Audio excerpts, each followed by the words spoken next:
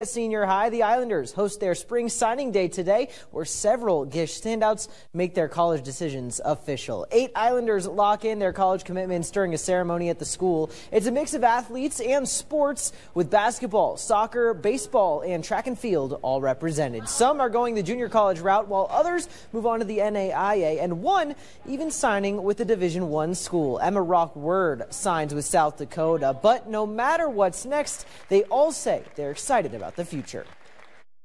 USD just seemed like the perfect fit. You know, it checked all the boxes for me. Division ones, like big girl time.